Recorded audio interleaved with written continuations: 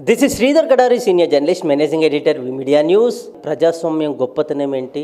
ఎన్నికల్లో ఓటు గెలవాలి ఓటర్లు గెలవాలి అనే ఒక అనేక కార్యక్రమాలు తీసుకుంటుంది ఫోరం ఫర్ గుడ్ గవర్నెన్సీ దానికి కార్యదర్శిగా ఉన్న సోమ శ్రీనివాసరెడ్డి గారు ఫోరం ఫర్ గుడ్ గవర్నెన్సీ ద్వారా అద్భుతమైన ఓటర్ చైతన్య కార్యక్రమాలను నిర్వహిస్తున్నారు. నేర చరిత్రలు లేని రాజకీయాలు జరగాలి ఎన్నికలు జరగాలని వీళ్ళు ఒక కార్యక్రమాలు తీసుకుంటున్నారు. వాటి గొప్పతనం ఏంటి? ప్రత్యేకత ఏంటి? అనేది ఫోరం ఫర్ గుడ్ గవర్నెన్సీ కార్యదర్శి సోమ శ్రీనివాసరెడ్డి గారు ఉన్నారు. ఆయన అడిగి మరిన్ని వివరాలు తెలుసుకుందాం. నేర చరిత్ర ఆర్థిక నేరాలు కలిగి ఉన్న వాళ్ళు రాజకీయాల్లోకి వచ్చినప్పుడు వాళ్ళు సొంత లాభాలకు అంటే ఈ ప్రజాస్వామ్య పరిరక్షణకు విలువలు తెలియక ఎమాంగ్ ది పీపుల్ గొడవలు సృష్టించి అదే ఆలోచనతో ఉండడం వల్ల మనకు అనుకున్న విధంగా పరిపాలన జరగకుండొచ్చు. సో నేర చరిత్ర కలిగిన వాళ్ళని అన్ని రాజకీయ పార్టీలకు కూడా గతంలో కూడా మేము చెప్పడం జరిగింది.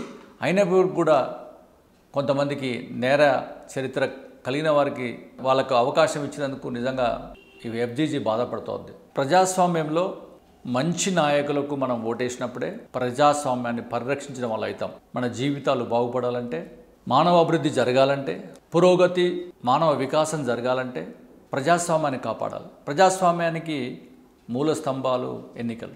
ముఖ్యంగా మనం ఎన్నికల్లో మంచి అభ్యర్థులను ఎన్నుకోవడం అవసరం. రాజ్యాంగం మనకేం చెప్తా ఉంది?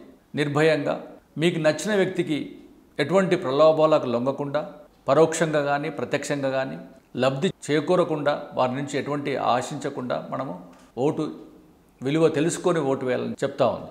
అటువంటి సమయంలో నేర చరిత గల వారికి ఆర్థిక నేరాలకు పాల్పడిన వ్యక్తులకు కనుక మనం ఓటేసినైతే వాళ్ళు స్వప్రయోజనాలు వాళ్ళ ప్రయోజనాల గురించే ఏ శాసనసభ్యుని మనము ఎన్నుకొని అసెంబ్లీకి పంపుతామో వాళ్ళు మన గురించి ఆలోచించకుండా నేర చరిత్ర గలవారు మనకు ప్రజాస్వామ్యబద్ధంగా సరిగ్గా ఉండరని చెప్పేసి నేను తెలియజేస్తా ఉన్నాను. నేరాలకు పాల్పడడం కక్ష సాధింపు ధోరణి అదేవిధంగా ఒక గుంపును మెయింటైన్ చేసి అభివృద్ధికి ఎటువంటి స్థానం కలిగించకుండా వాళ్ళు పాల్పడతారని నేను తెలియజేస్తా ఉన్నాను.